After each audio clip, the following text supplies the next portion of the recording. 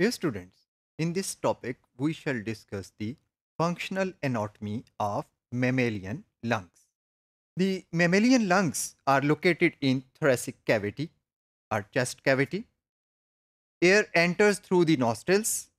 then passing through the pharynx, it enters the trachea. Trachea se aage,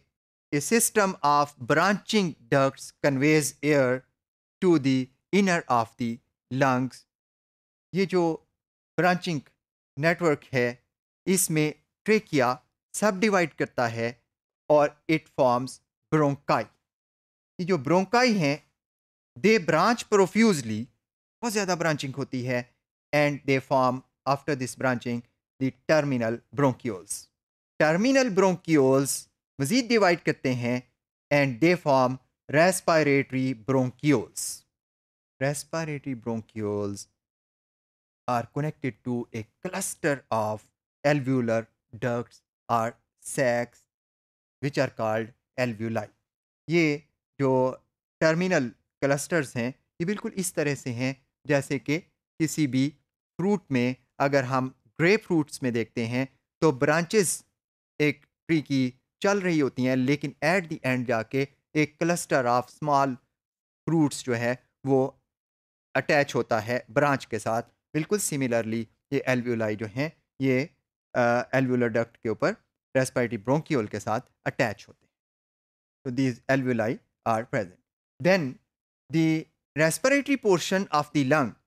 constitutes the terminal bronchioles, respiratory bronchioles,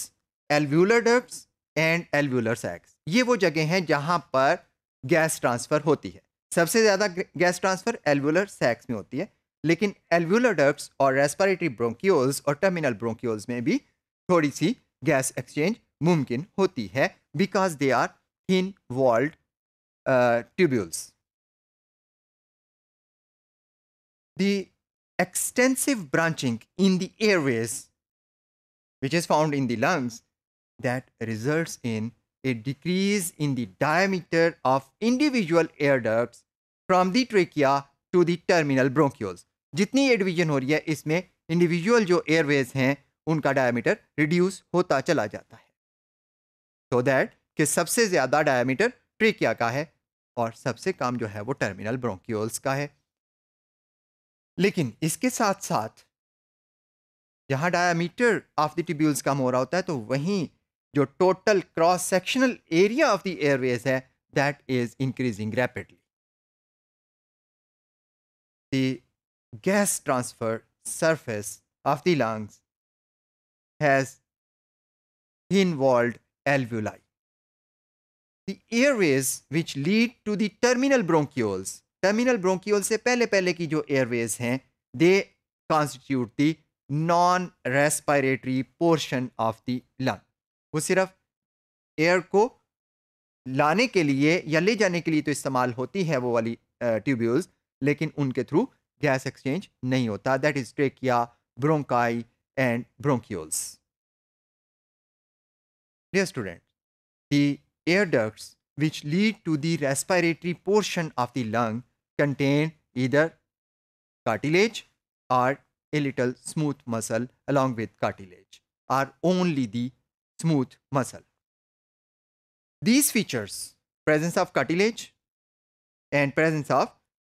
smooth muscle, they prevent the airways from collapse even in unconscious states.